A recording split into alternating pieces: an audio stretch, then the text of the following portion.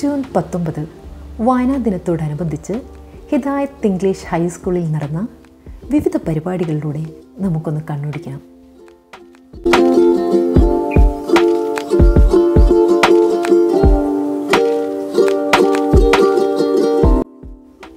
വായന മരിച്ചുകൊണ്ടിരിക്കുന്ന ഈ കാലഘട്ടത്തിൽ പുസ്തകങ്ങൾ നമുക്ക് കുട്ടികളുടെ മുമ്പിലൊന്ന് പ്രദർശിപ്പിക്കാം.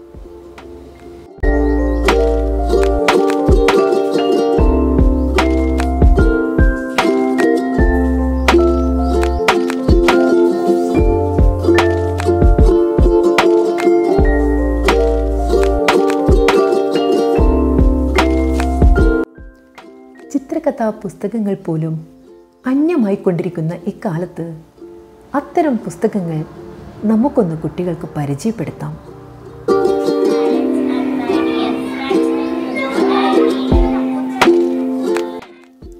ഫസ്റ്റ് ആൻഡ് സെക്കൻഡ് സ്റ്റാൻഡേർഡിൽ നടത്തിയ സ്പീച്ച് കോമ്പറ്റീഷൻ നമുക്കൊന്ന് കണ്ടു നോക്കിയാലോ.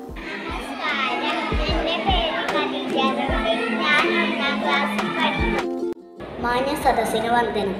ബഹുമാനപ്പെട്ട ഗുരുജനങ്ങളെ പ്രിയ സുഹൃത്തുക്കളെ ഇന്ന് ജൂൺ പത്തൊമ്പത് വായനാ ദിനം നമ്മൾ കുട്ടികൾ വായന കേവലം പാഠപുസ്തകങ്ങളിൽ മാത്രം ഒതുക്കരുത്.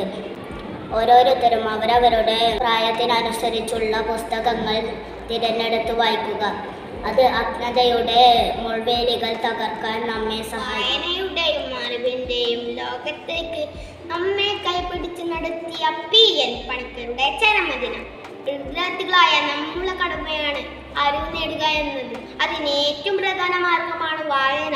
നമുക്കും പുസ്തകത്തിനോട് ചങ്ങാത്തം കൂടാം. ഈ ലോകത്തിന്റെ വെളിച്ചമാണ് പുസ്തകങ്ങൾ. ആ വെളിച്ചം കണ്ട് വേണം നമ്മൾ വളരാം എന്നാൽ ഇന്ന് വായന കുറഞ്ഞു വരികയാണ്. നമ്മളെ പുതിയ തലമുറ മൊബൈലിലും കമ്പ്യൂട്ടറിലും ചുരുങ്ങിപ്പോയി. വായിച്ചാലും വളരും വായിച്ചില്ലെങ്കിലും വളരും. വായിച്ചാൽ വിളയും വായിച്ചില്ലെങ്കിൽ വളയും. ആ കുഞ്ഞുണ്ണി മാഷിന്റെ കൊച്ചു കവിത ഞാൻ ചൊല്ലിക്കൊണ്ട് നിർത്തുന്നു. നന്ദി നമസ്കാരം.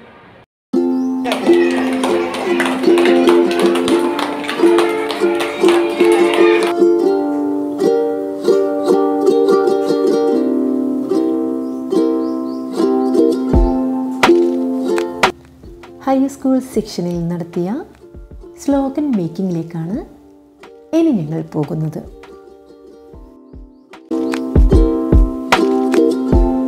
വായന ഒരു വ്യക്തിയുടെ ഭൗതികവും മാനസികവുമായ വളർച്ചയ്ക്ക് വളരെ അത്യാവശ്യമായ ഒരു ഘടകമാണ്. വായനയുടെ വായനയുടെ മഹത്വം സിദ്ധിക്കപ്പെടുന്നത് നമ്മുടെ ജീവിതത്തിൽ അത് നൽകുന്ന അനുഭവങ്ങളിലൂടെയും അറിവ് അറിവിലൂടെയും. ബുക്ക് റിവ്യൂമായി നമ്മുടെ മുമ്പിൽ എത്തിയിരിക്കുന്നത് നമ്മുടെ ഹൈസ്കൂൾ വിദ്യാർത്ഥി മുഹമ്മദാണ്. മുഹമ്മദ് വായിച്ച പുസ്തകത്തെക്കുറിച്ച് മുഹമ്മദിന് എന്തൊക്കെ കാര്യങ്ങളാണ് അവന്റെ കൂട്ടുകാരോട് പറയാനുള്ളതെന്ന് നമുക്ക് നോക്കാം. ഓരോ ദിവസവും ഓരോ പുസ്തകം വായിക്കുമെന്ന ലക്ഷ്യം നാം മുന്നോട്ട് വെക്കണം. അങ്ങനെ ഞാൻ വായിച്ച ഒരു പുസ്തകമാണ് ഞാൻ പരിചയപ്പെടുത്താൻ ആഗ്രഹിക്കുന്നത്. ഒ വി വിജയൻ എഴുതിയ കടൽ തീരത്ത് എന്ന പുസ്തകം. അതിൽ പതിനാല് ചെറുകഥകളാണ് ഉൾക്കൊള്ളുന്നത്. അതിൽ ഒരു കഥയാണ് കടൽ തീരത്ത് എന്ന് പറയുന്നത്.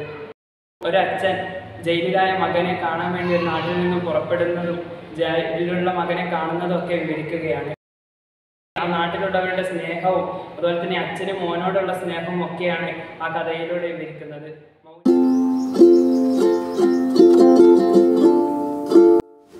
വായനാ ദിനാചരണത്തോട് ബന്ധപ്പെട്ട് ഒഴിച്ചുകൂടാൻ പറ്റാത്ത രണ്ട് മത്സരങ്ങളാണ് റീഡിംഗ് കോമ്പറ്റീഷനും ക്യൂസ് കോമ്പറ്റീഷനും. ഇനി നമുക്ക് അതൊന്ന് കണ്ടു നോക്കാം.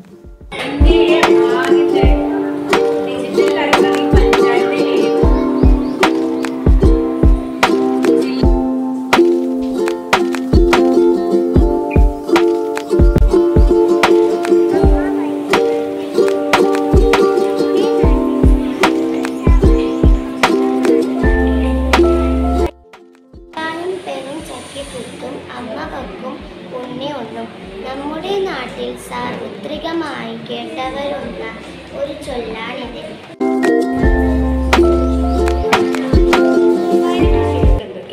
അതെ. വായന എന്നാൽ അറിവിന്റെ അത്ഭുത ലോകം തന്നെയാണ്. നമ്മുടെ ഹൈസ്കൂൾ വിദ്യാർത്ഥിനി സനുത വായിച്ച പുസ്തകത്തെക്കുറിച്ച് അവൾക്കും പറയാനുണ്ട് ചില കാര്യങ്ങൾ. അതെന്തൊക്കെയാണെന്ന് നമുക്ക് കേൾക്കണ്ടേ? തൊള്ളായിരത്തി പതിനഞ്ചിൽ എഴുതിയ ഒരു കുട്ടി നോവലാണ് എന്റെ ഉപ്പാപ്പക്ക് ഒരു ആനയുണ്ടായിരുന്നു സമ്പന്നമായ തറവാട്ടിൽ ജനിച്ച കുഞ്ഞിപ്പാത്തുമ്മയാണ് ഈ കഥയിലെ പ്രധാന കഥാപാത്രം. കുഞ്ഞിപ്പാത്തുമ്മ വളരെ സ്നേഹമുള്ളവളും സുന്ദരിയും നല്ല സ്വഭാവമുള്ളവളുമാണ്. ഇതിലെ മറ്റൊരു കഥാപാത്രമാണ് താച്ചുമ്മ. അതായത് കുഞ്ഞിപ്പാത്തുമ്മയുടെ ഉമ്മ.